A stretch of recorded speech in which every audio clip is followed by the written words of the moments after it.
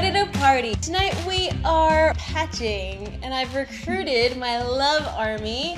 I've convinced them to patch jackets with me.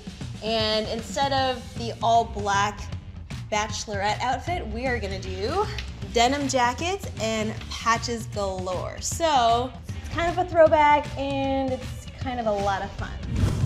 This is what you're gonna need for the bachelorette party. A whole bunch of patches. You don't have to just do patches, you can do fabric markers and or pins. You'll need your iron and you'll need your denim jacket. The first step is choose your patch.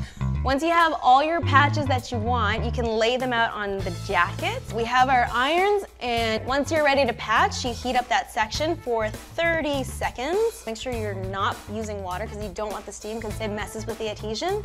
Now that section is warm, put the patch on. Don't be afraid to put some muscle in that and hold it for one minute. Try not to wiggle it so that you're putting equal pressure on the entire patch.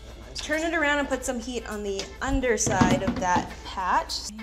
Okay, Love Army is done. I'm gonna accessorize the jacket with the fabric markers and I'm gonna write EST 2010 because that's the year Drew and I met. Whoa, whoa, whoa. I'm gonna add a pin to the other side of this. Okay. Guess who? I found this patch online. They can turn any picture into a patch. And I'm gonna put it on my sleeve.